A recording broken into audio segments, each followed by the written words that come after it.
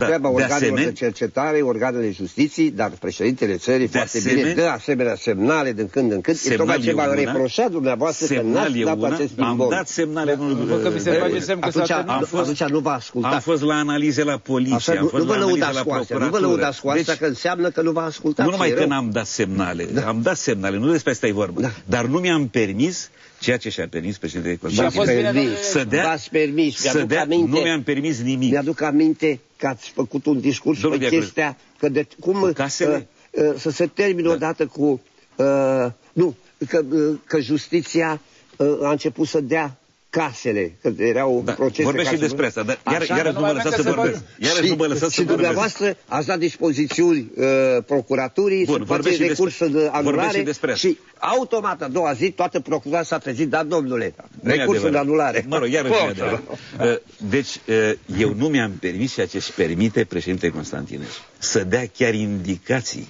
să sugereze uh, instanțelor asta judiciare. Asta înseamnă voința politică de a face nu, ordine la Asta nu înseamnă voință politică, Doamna, înseamnă abuz. A făcut sugestii. Abuz și arbitrariu. Poate să asta nu le execute acei care... Asemenea sugestii dădea Stalin da. pentru procese politice.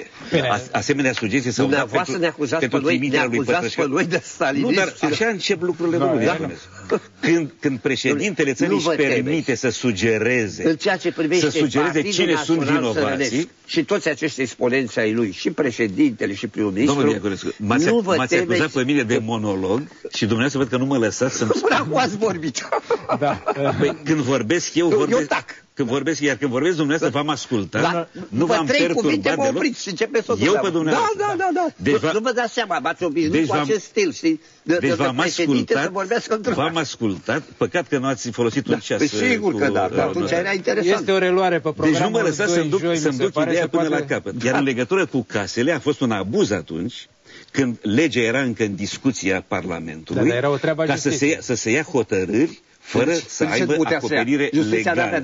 În timp ce acum, în timp ce acum, după ce domnul Constantinescu s-a angajat în campanie electorală în fața chiriașilor, domnul Ciorbea și-a permis să stopeze aplicarea legii, da. domnul Răzvan Dobrescu Domnul Răzvan Dobrescu este o inițiativă personală. Încă o dată. Da. Legea lui Răzvan Dobrescu nu a fost însușită de noi. Sunt măsuri a fost depusă la Senat sub o inițiativă lui personală. Case. I-am trimis o scrisoare deschisă Asta este o altă chestiune. Cu președintele Constantinescu în legătură cu nerespectarea legii din nou. Da. A plecat domnul București și nu o primește. Da, rog, o să o primesc.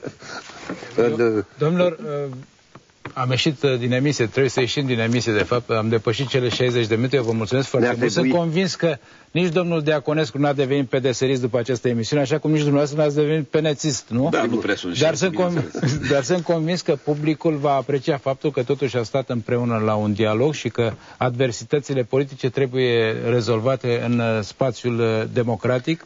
Și... Mai mult ne-a făcut o propunere și vrem să lucrăm la așa ceva la un cod de conduită, exact. de raport că este un lucru între absolut... opoziție și putere. Exact, între acele partide Pentru care se declară care democratice. sunt la opoziție vin la putere, cei de la putere intră în opoziție, trebuie să creăm și noi și să intrăm și ei care într-un mecanism. Și cei care sunt, da, sigur, în principiu, cei care sunt în opoziție totdeauna vor revendica că sunt, uh, uh, mă rog, nedreptățiți, că trebuie un cod ca să uh, fie și drepturile opoziției. Nu de nedreptățiți, da, este vorba de a funcționa un mecanism și al dialogului și al confruntărilor civilizate. Exact. Respectul pentru atâta adversar. vreme cât e opoziție, știu că opoziția se va opune și va avea ceva de spus și e bine să aibă bine. împotriva uh, puterii și a modului în care procedează ea.